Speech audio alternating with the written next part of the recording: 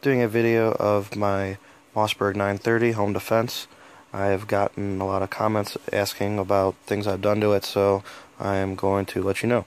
Started as a home defense, and I, I wanted an SPX, uh, but it cost too much, so I made my own. I got the same stock that's used um, in the SPX as the Choate, and then the uh, same mag extension.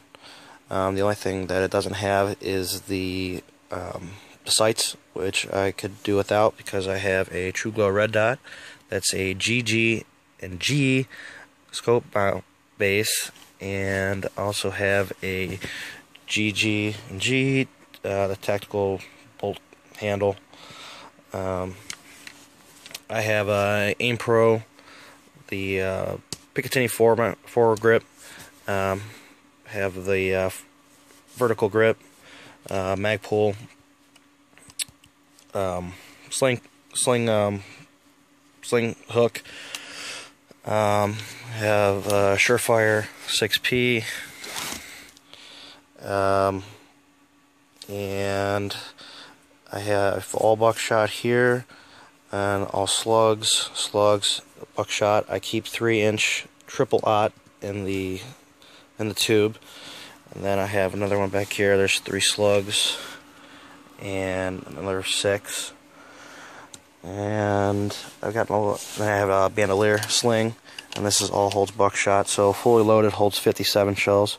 People ask me, you know, why should you get a bandolier, or why do you have so much, so many uh, slugs? I mean, uh, shells mounted to the gun. Well, if I need to grab this gun, and all I have to do is grab this, and I got 57 shells ready for me.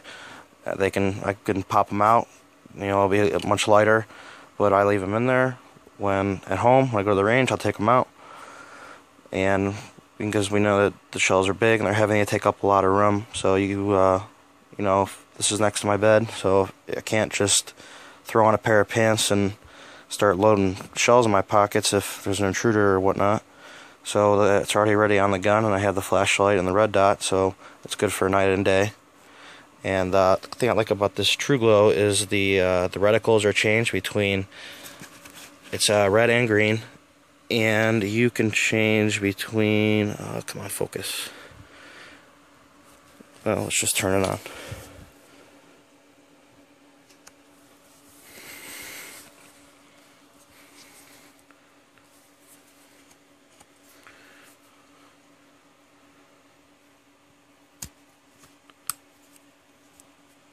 There's a circle with a dot and a, a smaller one, and then a uh,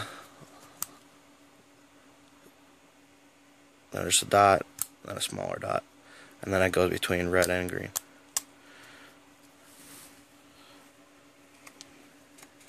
And that's my shotgun. And the next video is going to be on my beloved AR. So check that out too.